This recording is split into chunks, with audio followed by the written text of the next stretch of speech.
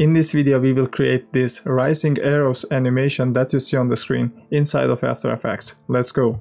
Here we are inside of After Effects. We'll start by selecting Pen tool, turn off the fill, so I alt click on this, alt click on stroke, I turn on the stroke, and then I just draw a shape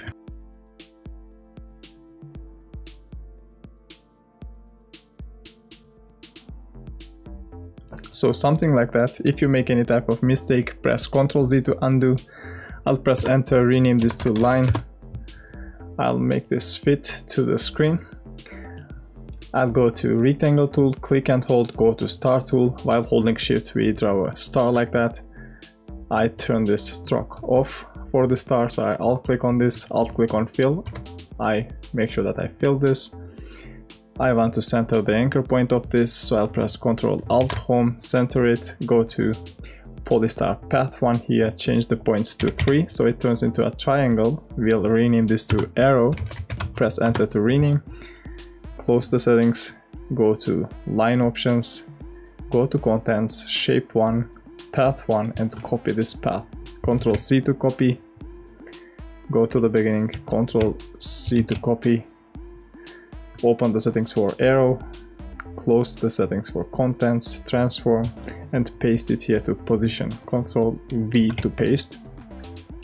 So now they move together.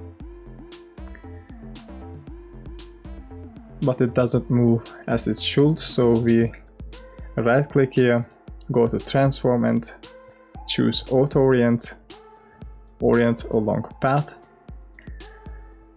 and it still doesn't look like it's working. We need to rotate this go to the beginning and just rotate this. Let's see if it works now. Looking fine.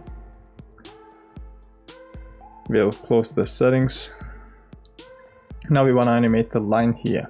So we open the settings for line go to add and add trim paths. Open the settings go to the beginning and set a keyframe on end, change it to 0, go to 3 seconds, and change it to 100 now.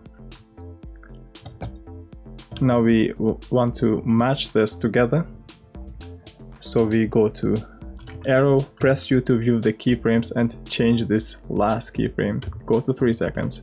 While holding Alt, we move this here to 3 seconds, so now they should move together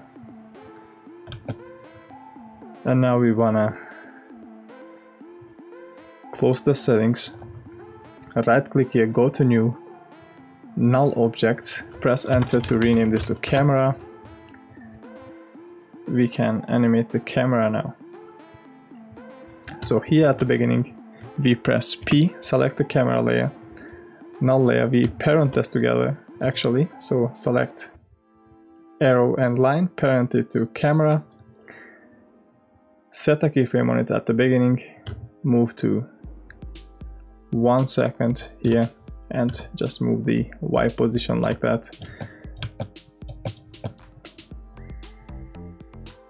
Move a little forward and move the Y position of camera again.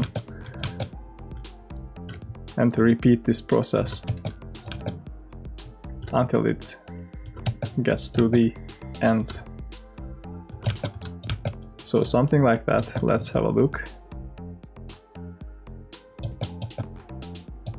It suddenly gets faster, so we can just delete this.